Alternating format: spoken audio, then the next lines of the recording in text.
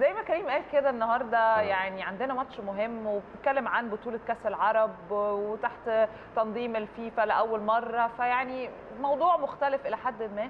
بس خليني أروح تحديدا للماتش بتاع النهارده والكرة اللبنانية أصلا. يعني من وجهة نظر حضرتك الدنيا هتمشي إزاي؟ الكرة اللبنانية برضو مستواها بتقيمه إزاي؟ آه، هي الكرة اللبنانية طبعا ما نقولش إن هي في آسيا. تبع آسيا بيلعبوا في آسيا. بالظبط.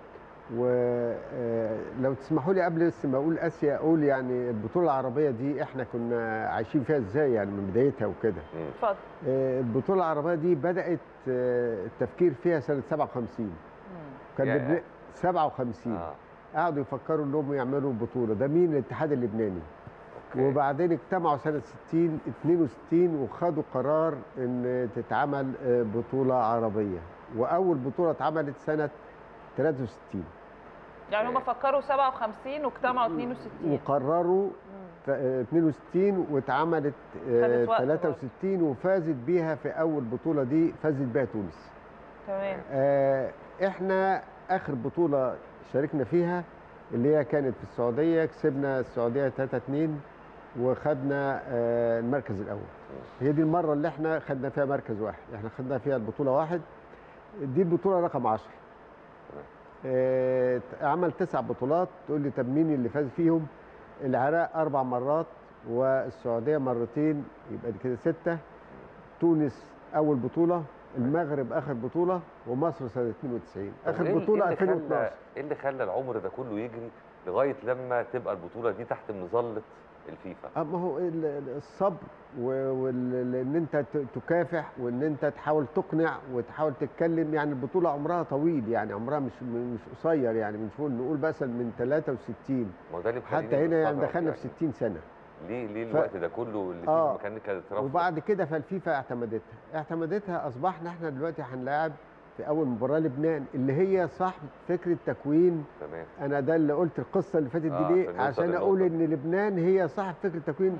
بطولة العرب. تمام. فازت هنلعب- بيها أي مرة ولا؟ لا لا ما فازتش. يعني لبنان ما فازتش ما هو اللي فازوا التسعة آه. زي ما قلت لحضرتك أربعة على العراق. اثنين واحد يبقى مصر. تونس أول بطولة المغرب آخر بطولة 2012 ومصر. ومصر سنة 92 okay. يبقى كده التسع بطولات ودي تمام. البطولة العشر تمام. أقدر أقول إن كارلوس كيروش كان بيدرب منتخب إيران. لعب مع لبنان كتير لأن في آسيا. فإذا هو عارف الفرقة وعارف إمكانيات المنتخب اللبناني. درسه كويس قوي لأنه هو كان بيلعب مع إيران ودايما كان بيعمل عليهم ماتشات كبيرة قوي. فإذا المباراة مش غريبة على المدرب ولا غريبة عن اللاعبين لأن آه، هنا الناس كتير بتتفرج على آه، الكرة اللبنانية وخصوصا لعيبة الكورة. آه، ما أقدرش أقول إن لبنان آه، يعني من الفرق المصنفة آه، كبيرة يعني هي ترتيبها بعد المية. مم. فاذا أنت بعد المية دي وإحنا 45 يعني فرق كبير ده قوي. فرق آه طبعا. آه. فإن شاء الله ربنا يسهل يعني المدرب عارف واللعيبة عارفين ويكون بداية موفقة. لكن البطولة في حد ذاتها أصبحت بعد اعتماد الاتحاد الدولي لها خدت زخم إعلامي وزخم آه، من الاهتمام من الاتحادات. رغم إن بعض الفرق إحنا عارفين إن كانوا هم 23 دولة. إحنا الدول العربية 23 تمام. عملوا تصفيات سبعة طلعوا واتبقى 16 ال 16 اللي هم أربع مجموعات إحنا من المجموعه الرابعة اللي فيها. إحنا معانا الجزائر والسودان.